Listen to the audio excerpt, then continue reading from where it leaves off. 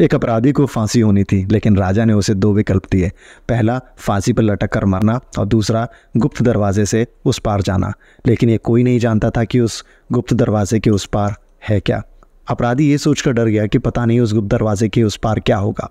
उसने सोचा कि हो सकता है कोई जंगली जानवर हो, या फिर कोई भूखा राक्षस हो सकता है, या फिर जहरीले सांप हो सकते हैं। इसी डर की वजह से उसने फांसी पर लटक कर मरना चुना। जिस दिन उसे फांसी हो रही थी, उसके मन में एक सवाल आया। उसने राजा से पूछा कि, हे राजन, उस गुप्त दरवाजे के उस पार क्या था? राजा मुस्कुराया और उसने कहा कि, मेरे दोस्त, उस गुप्त दरवाजे के उस पार तुम्हारी आज़ादी थी। हर अपराधी को मारने से पहले हम उसे ये दो विकल्प देते हैं। लेकिन दरवाजे के उस पार क्या होगा? इस डर से हर अपराधी ने हमेशा फांसी पर लटक कर मरना ही चुना, और तुमने भी वही किया। कहानी का निष्कर्ष ये है कि ये डर ही हमें आगे नहीं बढ़ने देता।